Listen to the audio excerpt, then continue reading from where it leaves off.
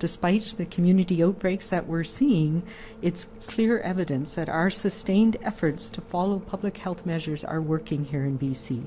There have been over 300,000 views of the online calculator we launched last week to help businesses prepare a claim.